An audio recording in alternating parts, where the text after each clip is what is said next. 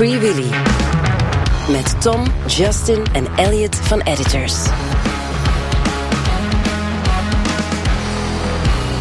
Really, music matters. Hi there, this is Tom from Editors, and this hour I'm taking over on Willy. Name one artist or band who inspired you when Editors started. Elbow. Um, we were studying in Stafford, so we were kind of between uh, Birmingham and Manchester. And um, yeah, me and Russell especially started to go to shows, and Elbow were a band that we kind of formed our friendship over. Asleep at the Back was a record that came out um, that year.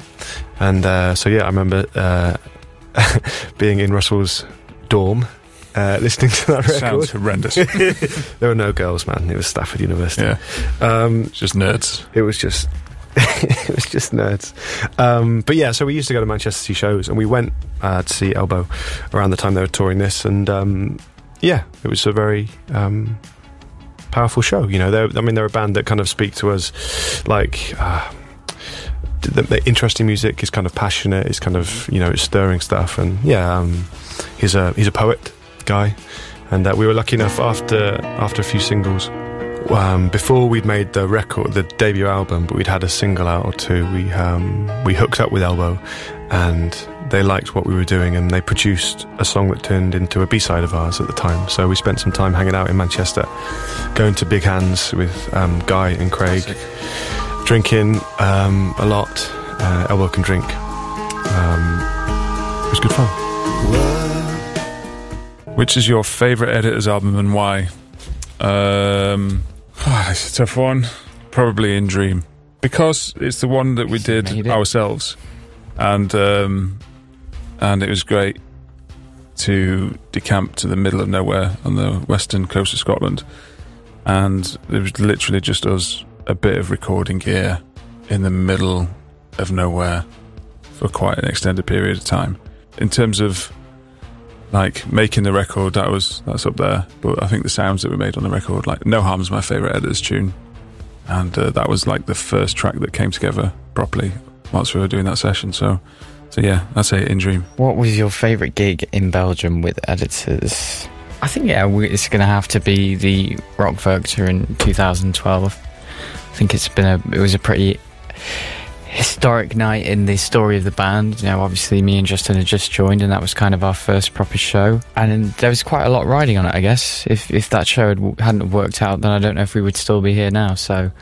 Um, it was pretty special and I don't think you have too many moments like that where there's just there's a certain magic in the air and the audience are fully behind you as well as just coming together as a band and um, having that sort of communal out of body experience is, is pretty hard to come by so yeah I think that is definitely that's definitely the one What is your first memory of coming to Belgium with editors?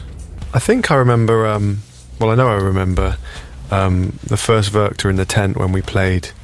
Um, we were playing a Talking Heads cover at the time, Road to Nowhere. And um,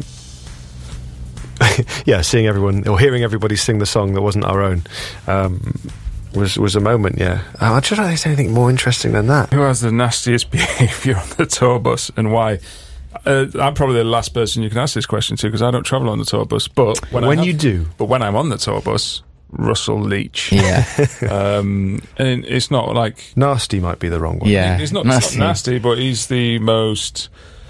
well, he's the most Boisterous. flamboyant, boisterous, over the top member of the band by by a few. If you've seen the film Nice. Beethoven, Yeah, that's Um, Russell. yeah. Um, so I'd, I'd say dog. literally, I think everyone in the band would answer the same. Ironically, he's quite tidy though. Yeah, yeah he's very tidy Yeah. Yeah. So he'll always He's tidy. probably the up tidy, tidiest on the bus he will make a mess, but it'll be spotless afterwards when he's, you know, sobered up. Name one song from the last 15 years that you wish you had written. Oh, that's a tough one. that's a good From question the last 15 years. Yeah, Ooh. Um, so maybe I'll rock just pick something that made loads of money. just pick a banger, like Katy Perry's "Roar." It's Uh, a banger.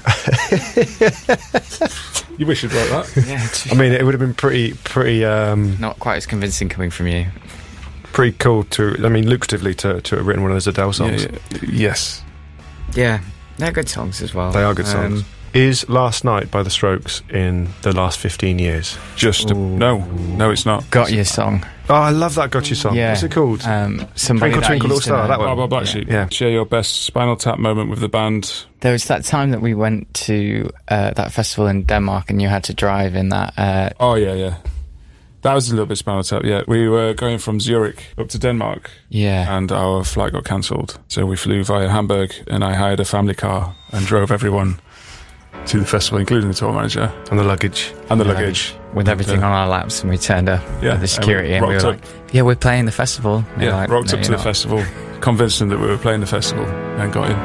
I've got loads left. Here we go. Right. Could you define a moment when you realised editors were going to make it? I knew we were on something very early, if I'm being honest. I remember writing bullets in the rehearsal room um, and just feeling the energy when the chords kind of came together with Chris and the way he was playing guitar. I was like, ah, this sounds proper. I can imagine people um, being interested in this. I don't, you know, I never. I don't know. I don't think you can predict what's going to happen, but I knew there was something special going on in that room that afternoon at university. Other than that, obviously, when you two joined, Oh, you know, well, yeah. obviously when we jo- when we joined. of all the famous people and musicians you have met over the years, who inspired or surprised you the most? It was inspirational touring with REM, but that's a very obvious thing for me to say. Um, who's been a bit more surprising over the years? There's been um, Um, Um, the Polish metal band guy, singer of Behemoth. Behemoth. Yeah, He was, Yeah. he was a lovely fella. He was rocking out to the acoustic set in Poland. Yeah. And who else we met? It was cool. Robert Smith was pretty cool. We met him. Robert Smith was awesome. We met Rob quite recently. We were hanging out with him after playing. It was an absolute joy. It was inspiring watching The Cure. Uh, we did three shows over the last year or so, and um, on the third one, we um, yeah we, got, we were hanging out, and he was chatting to us about Glastonbury and stuff. Yeah, he was very cool. It was really sound. It, it was inspiring, yeah. Of all of the songs editors have written in the last 15 years, which one are you most proud of? It's a tricky one. I mean, people always say, like, your songs, or you- maybe maybe they're calling them maybe more their albums, but are like children, because obviously you, you have. Um, you know, have intense relationships with them. You know, you, you go through a process, and most of them, you know, that's a bit of a journey with each one. So there are things I like about all of them, even the ones I don't really like on the whole. There's things about I like them, like my children. Um, uh, pick one. I, I'm I'm like Justin. I really like No Harm, and I I always like the slow ones. I'm a sucker for a slow song. Slow, sad songs. man. Yeah. Um, so I think No Harm is my favourite because it's the most we've ever sounded like Enya. What is your favourite Belgian food and drink? Um, I think mine's probably got to be moules. I love I love mussels. Um, probably Duvel, but not too many. Headaches. Go across the board, Justin. Just don't know. Justin isn't at one with food. You I'm like not, I'm Fritz, not at one with food, especially when we're here. We're doing promo gig. I'm definitely not at one with food in in, in Belgium. Um, but I don't mind a few Belgian beers. You do. What was that one you had the other night? Promo was very beer, nice. Jupilers. Yeah, you're a big fan of the Jupiler. Jupiler, because you can just throw them throw them around, man. They don't affect you. You can wake up in the morning with no headache. Bland lager. Yeah, bland. If you could sum up Justin with a drink, it'd be the bland. bland lager. Down the middle lager. Yeah, straight down the middle. What would you like to achieve as a band in the next 15 years? I don't know, really. I mean, I'd like to think that in 15 years' time, um, we're still doing this, but you can't predict that, you know? I mean, it's not science, um, you know? It's art, isn't it? So you don't quite know how, how long the creativity kind of collectively is going to go on for, I hope. And it feels really good at the moment, so ideally we'll, you know, be talking about Black Gold 2 um, and another six records, but um, who knows what life has in store.